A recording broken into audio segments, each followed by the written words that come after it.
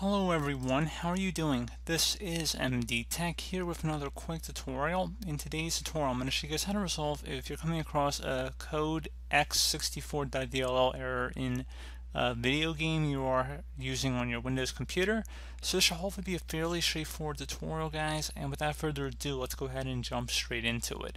So we're going to start by opening up the start menu, type in Windows Security, Best match should go back on Windows Security. Go ahead and just open that up.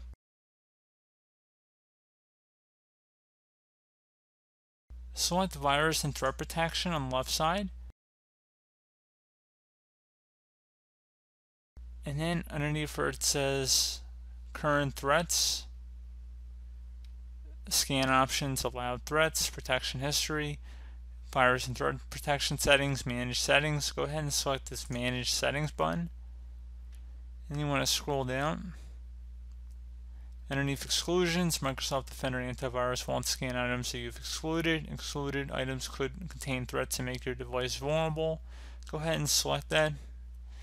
Select add an exclusion. We're going to go select folder.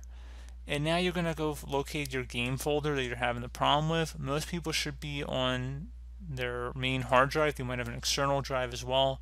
Um, I'm know most people are probably going to be underneath their local disk where Windows is installed and then go underneath program files and then locate the program from this list here. So we're going to go and select SnowRunner select select folder. So we're going to select select folder. And then we're going to select yes here for user account control prompt and our exclusion should be listed here change your mind one day, you can always click the drop down arrow and remove this exclusion. But otherwise, Microsoft's Windows Defender will not scan this folder for viruses or other threats. So pretty straightforward process, guys. Do hope I was able to help you out, and I do look forward to catching you all in the next tutorial. Goodbye.